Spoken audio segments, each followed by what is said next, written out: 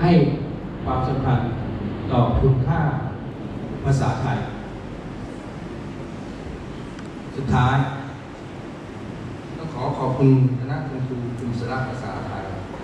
และผู้เกี่ยวข้อง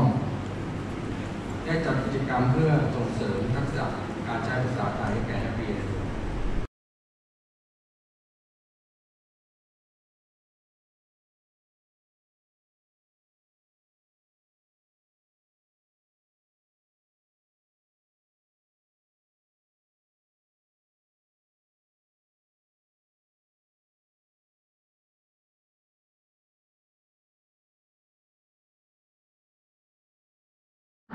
ำหรับนักเรียนระดับชั้นมัธยมศึกษาตอนต้น นักเรียนที่ได้รางวัลชมเชยอันดับ 3 ได้แก่เด็กชายนิติกรผู้สารานักเรียนชั้นม .3 ทับ1ค่ะ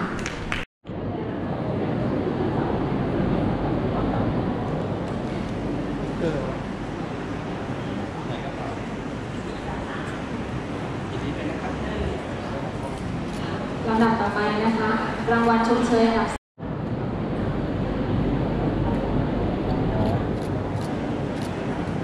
ลำดับต่อไปนะคะรางวัลชมเชยอันดับหนึ่งได้แก่เด็กหญิงยานะคะสัตว์ดีนักเรียนชั้นม .1 ทับ1ค่ะต้องอาร์หนึ่งเด็กชายอาริทัศน์สิทธิพงศ์นักเรียนชั้นม .2 ทับ1ค่ะแต่คนนี้เป็นผู้ได้รับรางวัลชนะเลิศระดับมต้นนะคะ